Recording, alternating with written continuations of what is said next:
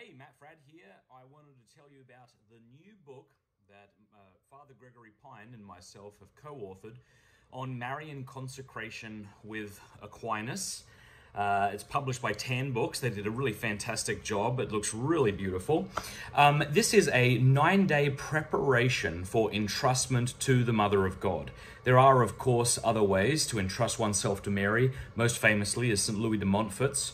And then Michael Gaitley has that excellent book, 33 Days to Morning Glory.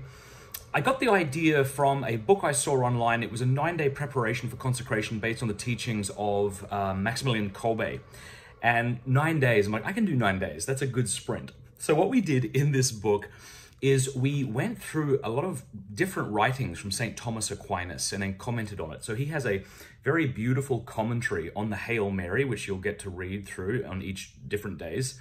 Um, we the, the, first day we, we take a section out of the Summa about why we can uh, and and indeed should pray to the saints and ask their intercession. And so we, we, we comment on that.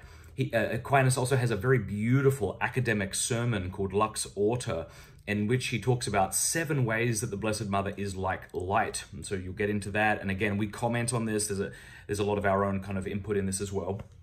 And then on the final day is this absolutely beautiful prayer of entrustment to Mary by St. Thomas Aquinas that not a lot of people know about, honestly.